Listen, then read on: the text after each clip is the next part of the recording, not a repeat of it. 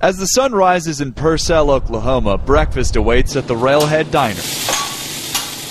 Normally, dozens drive across the James Nance Memorial Bridge from neighboring Lexington to grab a bite here. We should be packed out by now, standing room only.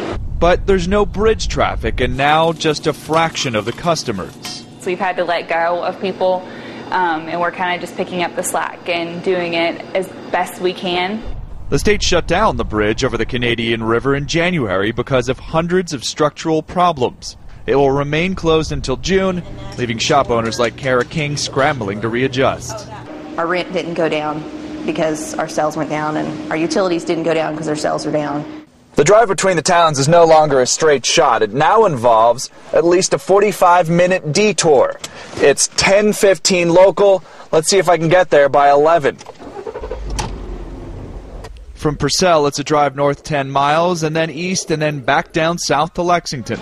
We went from having 22,000 cars a day to drive east and west on Highway 39 to The Lexington city manager says the bridge shutdown has dried up tax revenues on his side as well. it's kind of like having a water well and it going dry.